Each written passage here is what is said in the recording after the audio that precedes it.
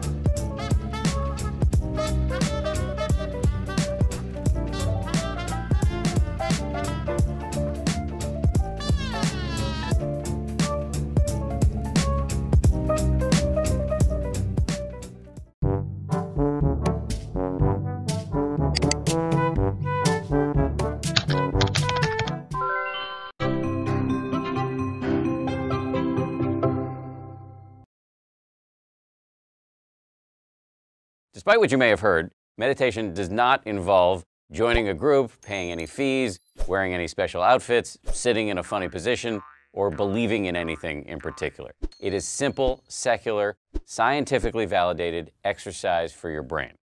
You don't have to do it yet, but just so you know, here are the three steps. One, sit with your back straight and your eyes closed.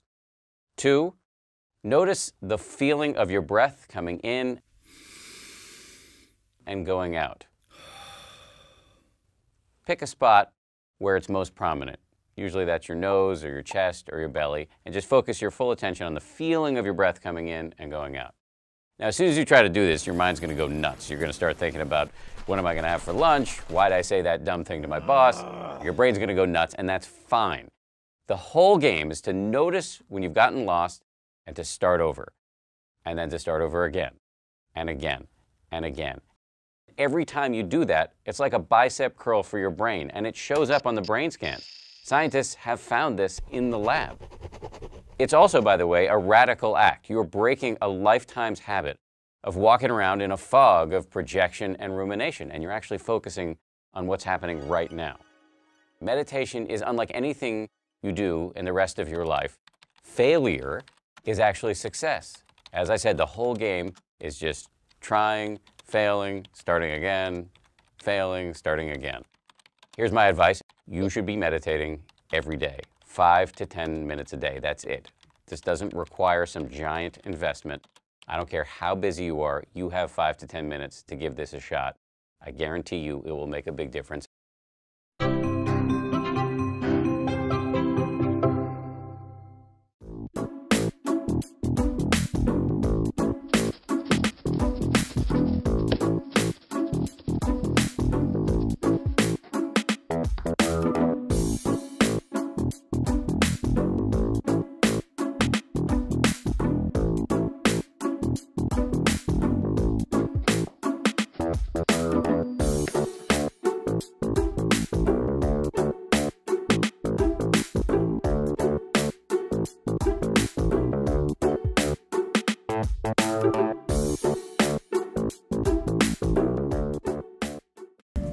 Thanks, Marcus.